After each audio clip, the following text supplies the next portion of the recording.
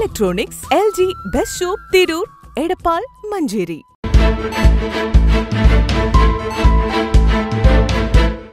നമസ്കാരം. വെട്ടം ന്യൂസ് ക്യാപ്സ്യൂളിലേക്ക് സ്വാഗതം.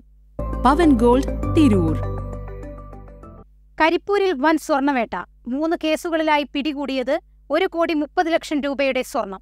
കാസർഗോഡ് ബാലുശ്ശേരി തേഞ്ഞിപ്പാലം സ്വദേശികളാണ് അറസ്റ്റിലായത്.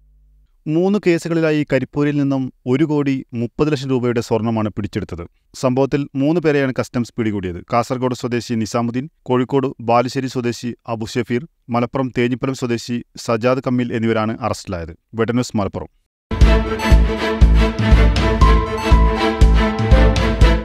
എന്റെ ഇഷ്ടങ്ങൾ എന്റെ ഫാമിലിക്ക് അറിയാം family wedding centre Kunnamangalam Vadakara Manjeri Meppadi Tirur Perinthalmanna and you